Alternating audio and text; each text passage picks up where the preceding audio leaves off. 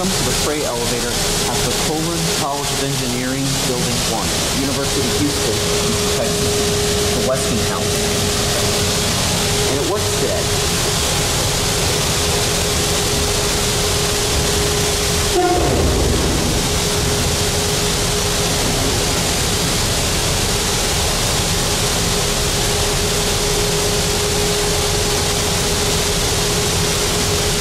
Finally, have a tripod with me so I'm able to operate the door as well.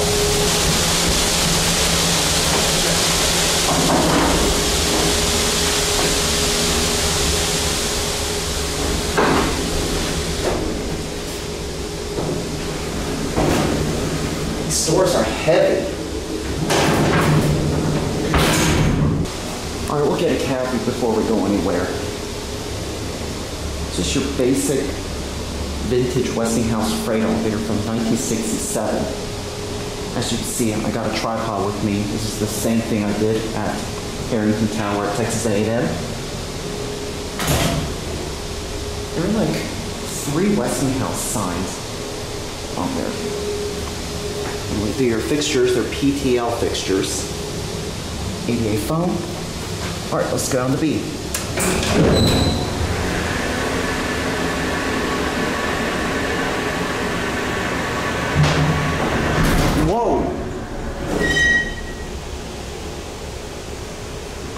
So hard. Anyway, are your fixtures. It doesn't re-level like it did in Andrew's video. Alright, let's go up to three and listen to the motor.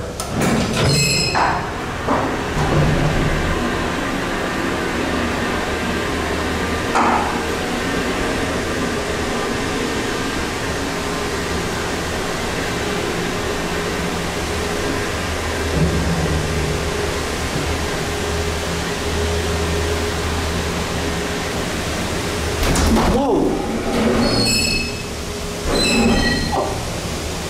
And it that time.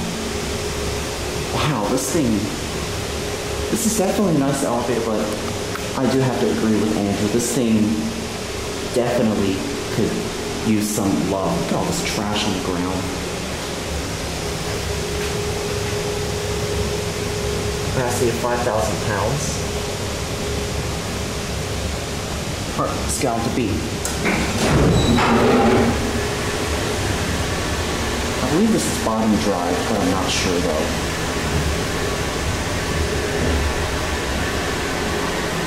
Why don't you watch how hard this thing stops? That thing stops so hard.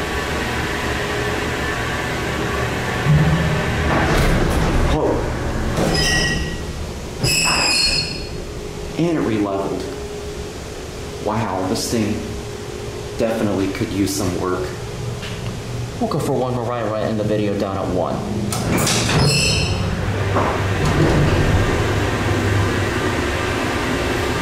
This is definitely bottom drive.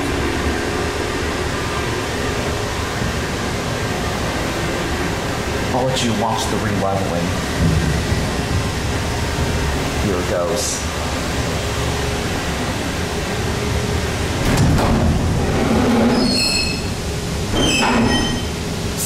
That. It stops so hard, and then it re-levels.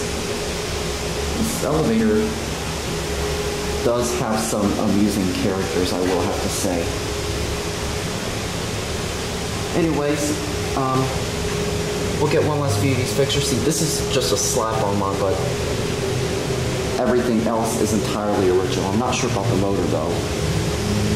Anyway, we will go back down one and there.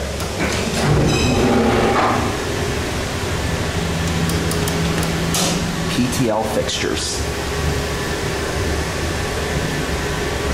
I'm so glad I got a tripod with me so I could operate the doors easily. Whoa. Wow. This thing stops so aggressively. Anyways, I wonder what the door and door close buttons are. That doesn't do anything.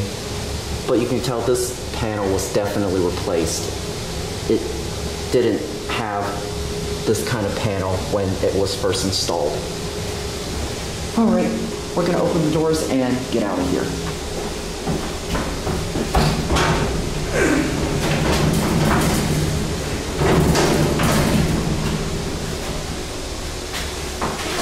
A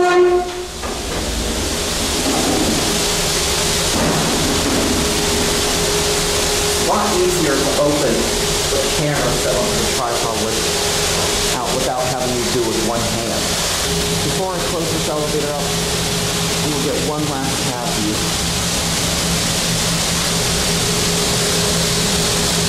It's a really nice elevator, but it could use some cleaning.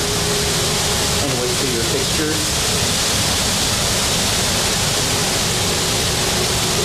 And see is your original EPCO call button. All right, we're gonna close the elevator up as a common courtesy.